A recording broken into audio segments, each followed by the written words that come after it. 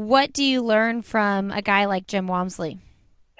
You, you know, he's a he's a great runner, but he's an even better person. Mm. Um, he he himself like doesn't matter who you are. He'll if you ask him a question, he'll stop uh, and talk to you and give you a very thoughtful response.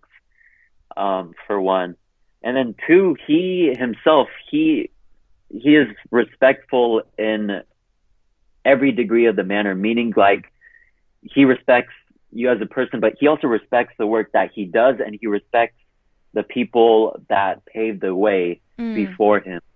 Um, so even like I feel like what what separated him from everyone else going into the race was that he actually respected the person that ran 609 and he studied that person. He understood like what that person did to like run that race, what the conditions were.